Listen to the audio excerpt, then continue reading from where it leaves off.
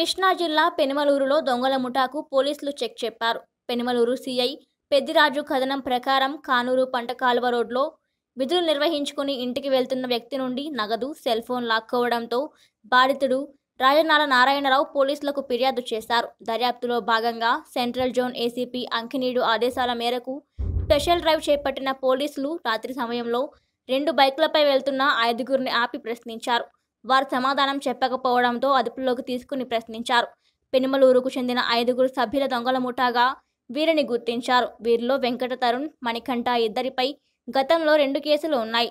చెడు అలవాట్లకు బానిసై డబ్బు కోసం వీరు దొంగతనాలకు పాల్పడుతున్నట్లు పోలీసులు తెలిపారు. మణికంఠ అనేవాళ్ళు పాత నేరంలో కూడా గొడవ మూడు పాత నేరాల్లో కూడా నేరస్తులు పాత నేరాలు నేరస్తులు గుర్తించడం జరిగింది.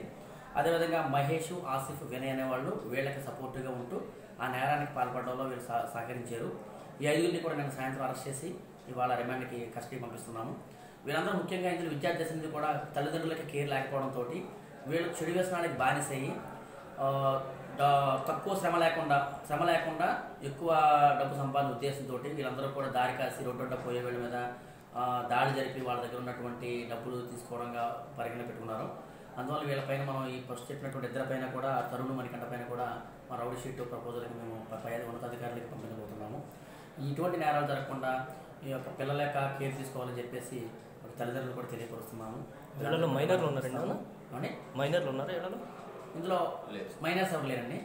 వీళ్ళ దగ్గర మనం ఆరు వేల ఆరు వందల రూపాయల క్యాష్ ఒక సెల్ ఫోను వాళ్ళు ఏ వాహనం అయితే ఉపయోగించారు వాహనాన్ని ఉపయోగించారు ఆ వాహనాలు కూడా సీజ్ చేయడం జరిగింది.